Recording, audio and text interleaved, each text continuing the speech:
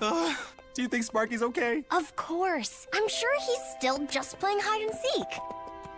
I feel like the worst pony dragon dad in the world right now.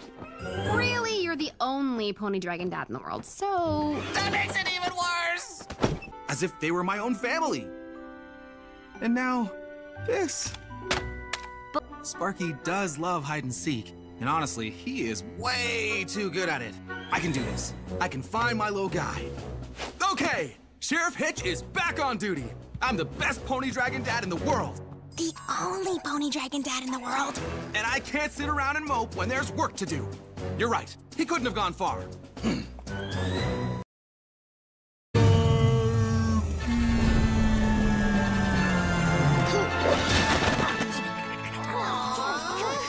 Also ill.